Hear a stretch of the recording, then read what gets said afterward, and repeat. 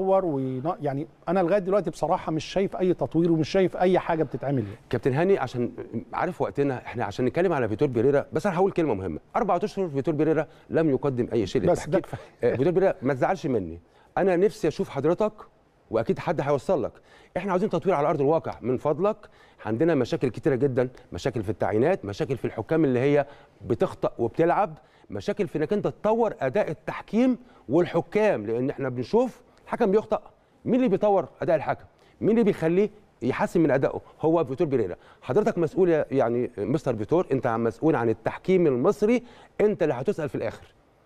الحاجة تانية عندنا كوادر بشرية كابتن هاني وبقول كوادر بشرية. وطنية على أعلى مستوى. يا جماعة خد الناس دي استفيدوا بيها. ما بتكلمش عن نفسي لأن أنا مش هشتغل في التحكيم تاني. ولكن كوادر بشرية شابة استفيدوا بيها في لجنة الحكام. طيب.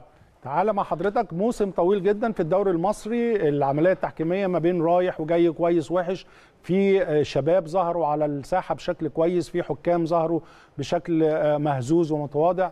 رؤيتك والحالات اللي حضرتك وقفت طيب. عندها الحالات المهمة جدا تمام. خلال الموسم اللي فات. كابتن هاني قبل بس ما أروح للحالات هتكلم في نقطة بس مش هستفيد فيها. القائمة الدولية.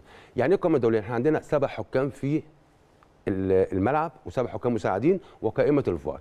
فنهاية كل موسم كل اتحاد أهلي بيبعت للاتحاد الدولي اعتماد القائمة الدولية الجديدة. تمام.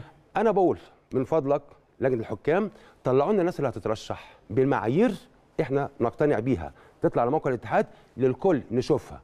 اللي ترشح عدد المباريات تقييمه الفني فيهم إيه؟ لأن الكفاءة الفنية هي العامل الأساسي في ترشيح الحكم عندنا كمان حكام ساحة مش معاهم رخصة الفار. من فضلك الناس دي لو ما خدتش رخصة الفار هيأثر عليهم في البطولات الكبيرة. موضوع كبير جدا هنفضل فاتحينه يا كابتن هاني ملف القائمة الدولية لحين ما تخرج هنا على الاتحاد الدولي وتعتمد. إن شاء الله.